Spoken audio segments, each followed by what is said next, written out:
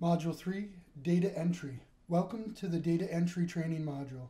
In this video, you will learn how to enter, edit, and print relevant details of your samples of human, animal, food, plant, or environmental origins, such as identification numbers, dates, sampling location, and sample type.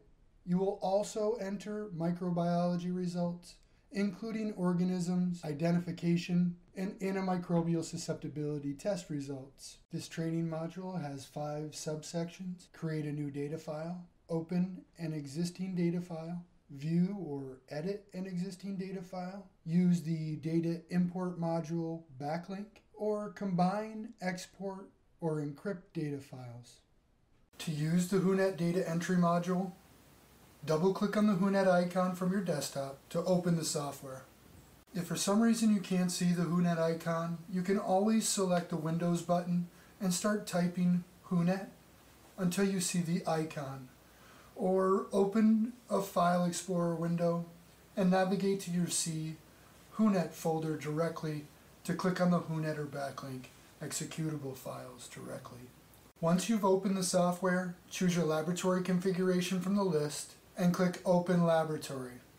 To create a data file, select the data entry link and then select the option to create a data file from the drop-down menu. Enter a file name and then select the Save button at the bottom right. To open a data file, select the data entry link and then select the option to open a data file from the drop-down menu. Navigate to your file and then select the Open button. WhoNet will open to an empty form where at the top you can choose the origin, human, animal, food, plant, and or environmental sampling origins. Select the option to view your database, to open your database to view or edit samples. Select the Edit Isolate button at the top left to edit an isolate. Here you can edit an isolate of human origins to animal, food, plant, or environmental origins, or any of the patient, location, specimen, microbiology, or test result details. Here you can edit an isolate for animals, edit an isolate for food origins, edit an isolate for plants, or edit an isolate from environmental origins. When you're ready, select the print option to print the clinical report or isolate listing. To print your clinical report, select Print. And at the page setup, select OK.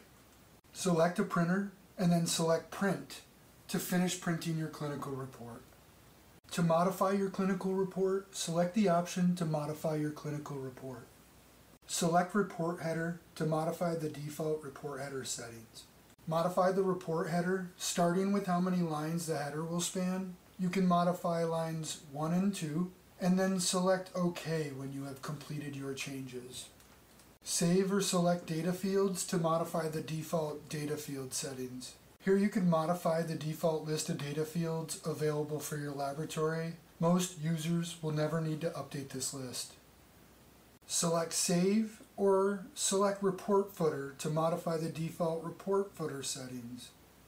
Modify the settings parameters to include the footer or modify the default footer settings to match your laboratory. WhoNet also includes a data import software called BacLink for the capture and standardization of data from existing desktop applications, laboratory instruments, and laboratory information systems to avoid the need for double entry of data. Complete the BacLink training course if you will use BacLink to convert your Excel or standard text file into the WHONET file format for analysis and report generation. Once you have defined your file to BacLink, after you convert data into WhoNet and map your antibiotics, locations, organisms, and specimen dictionaries, WhoNet offers the user the ability to create or update your lab configuration from the data file or data files that you just converted. Most of the time avoiding the need for any manual changes to the laboratory configurations. To use the Combine Export Encrypt feature, select Combine Export Encrypt from the Data Entry drop-down menu. From this screen, the first thing you want to do is indicate the output format by selecting the drop-down menu and choosing the option that best meets your needs. The default format is WHONET. Indicate the file name. Select the data files you want to combine, export, or encrypt. Use the over arrow button to include your files. Select the checkbox to encrypt patient information. Select Combine to combine, export, encrypt your data, or Exit to exit the feature. These next few slides are focused on file management strategies.